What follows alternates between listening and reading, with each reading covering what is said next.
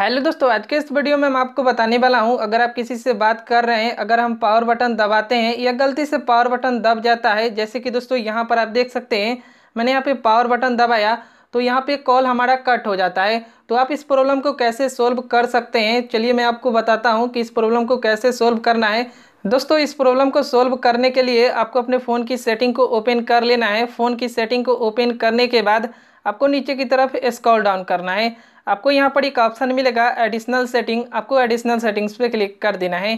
Click करने के बाद आपको नीचे आना है। नीचे में आपको यहाँ पर एक ऑप्शन मिलेगा एक्सेसबिलिटी आपको एक्सेसबिलिटी पे क्लिक कर देना है। क्लिक करने के कि दोस्तों आपके फ़ोन में एक और सेटिंग होगा जो कि यहाँ पर आपको सेटिंग दिखाई दे रहा होगा फ़िज़िकल तो आपको फ़िज़िकल वाले सेटिंग पे क्लिक कर देना है। उसके बाद यहाँ पर आपको कुछ इस तरह का पेज यहाँ पर आपको दिखाई देगा। उसके बाद आपको नीचे की तरफ़ स्क्रॉल डाउन करना है। यहाँ पर आपको एक सेटिंग मिलेगा। जैसे कि दोस्तों, यहाँ पर आप देख सकते हैं पावर बटन इंड कॉल दोस्तों, यह सेटिंग है और दोस्तों, यहाँ पे ऑन होगा तो आपको इस सेटिंग को ऑफ़ कर देना है।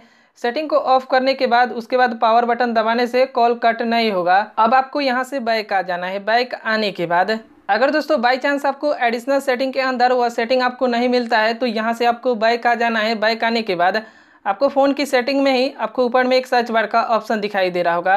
आपको सर्च बार पे क्लिक करना है। क्लिक करने के बाद यहाँ पर आपको टाइप करना है पावर। तो चलिए हम यहाँ पे पावर टाइप कर देते हैं। पावर टाइप करने के बाद यहाँ पर आपको सेटिंग दिखाई देगा। Power button end call. तो यहाँ से आप सेटिंग कर सकते हैं। अब दोस्तों यहाँ से आपको बैक आ जाना है। बैक आने के बाद अब दोस्तों मैं आपको चेक करके दिखा देता हूँ। तो मैं यहाँ पे डॉलर को ओपन करता हूँ और मैं यहाँ पे कॉल कर देता हूँ। तो प्रॉब्लम सोल्व हो जाएगा। दोस्तों यहाँ पे देख सकते हो मैंने कॉल किया और यहाँ पे मैं पावर बटन पे यहाँ पे प्रेस करता हूँ।